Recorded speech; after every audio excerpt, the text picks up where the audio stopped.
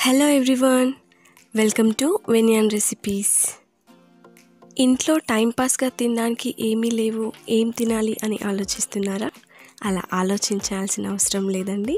ఈరోజు నేను శక్కరపార రెసిపీని ఎలా చేసుకోవాలో చూపిస్తున్నాను. వీటిని ఒక ఎయిర్ టైట్ బాక్స్లో పెట్టి స్టోర్ చేసుకుని ఎప్పుడు కావాలంటే అప్పుడు టైంపాస్గా తింటూ చక్కగా ఎంజాయ్ చేయొచ్చు. మరి ఆలస్యం ఏమీ చేయకుండా వీడియో చూసేయండి.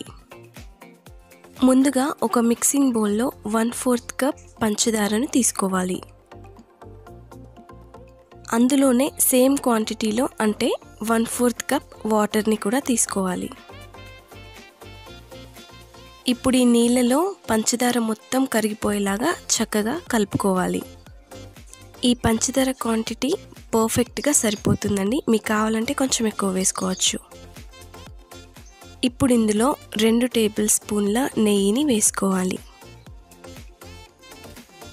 నెయ్యి పంచదార ఇంకా వాటర్. ఇవి మూడు చక్కగా కలిసేలాగా ఒకసారి చక్కగా బాగా కలుపుకోవాలి.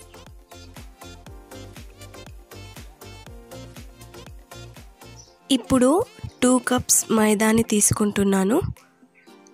అండ్ అలాగే అర టీ స్పూన్ ఉప్పుని తీసుకొని ఒకసారి జల్లించుకోవాలి.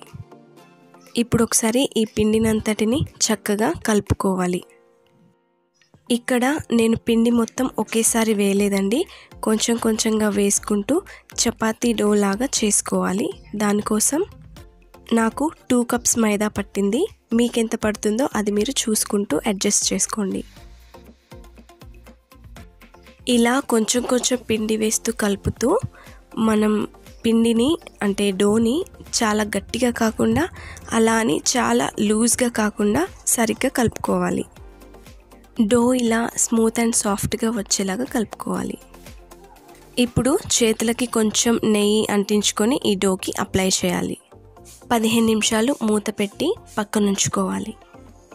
ఇప్పుడు చపాతీలు చేసుకునే చెక్క పైన కొంచెం పొడిపిండి వేసుకొని అలాగే ముందుగా రెడీగా పెట్టుకున్నటువంటి డోని కూడా పెట్టుకొని దానిపైన కూడా కొంచెం పొడిపిండి చల్లుకొని ఇలా ఒకసారి రోల్ చేసుకోవాలి. చపాతీ అంత పల్చగా అలా అని మరీ థిక్గా కాకుండా మామూలుగా ఉండేలాగున రోల్ చేసుకోండి. ఇక్కడ చూడండి నేను వీడియోలో చూపిస్తున్నట్టుగా ఇంత థిక్గా ఉంటే సరిపోతుంది.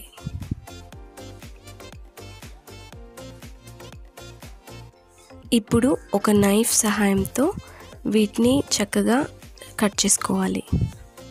మీరు మీకు నచ్చిన షేప్లో వీటిని కట్ చేసుకోవచ్చు. Like square diamond triangle. మీకు ఏ షేప్లో నచ్చితే ఆ షేప్లో కట్ చేసుకోండి. మీరు ఇక్కడ వీడియోలో చూడొచ్చు నేను స్క్వేర్ షేప్లో కట్ చేసుకున్నాను. ఇలా థిక్గా ఇంత సైజులో ఉంటే సరిపోతుంది. ఇప్పుడు ఒక ప్యాన్లో నూనె వేడి చేసుకొని మనం రెడీగా పెట్టుకున్న స్క్వేర్ పీసెస్ని ఒక్కొక్కటిగా వేస్తూ డీప్ ఫ్రై చేసుకోవాలి.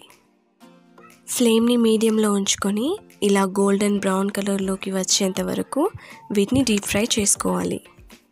మంటని హై ఫ్లేమ్లో అస్సలు పెట్టకూడదు ఎందుకంటే పైన కలర్ వచ్చిన లోపల సరిగ్గా కుక్ అవ్వవు చూడండి ఈ విధంగా చక్కగా ఫ్రై అయిన తర్వాత వీటిని ఒక ప్లేట్లోకి తీసుకొని పక్కనుంచుకోవాలి. ఇప్పుడు ఇలా మిగతా వాటిని కూడా వేసుకొని ఫ్రై చేసుకోవాలి.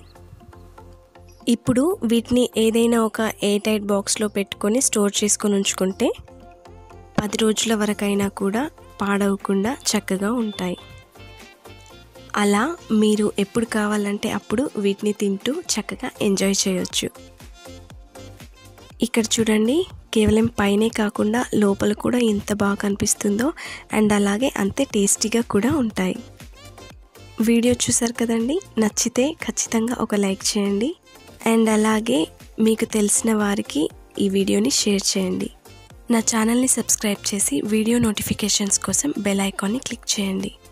Thanks for watching. బాయ్.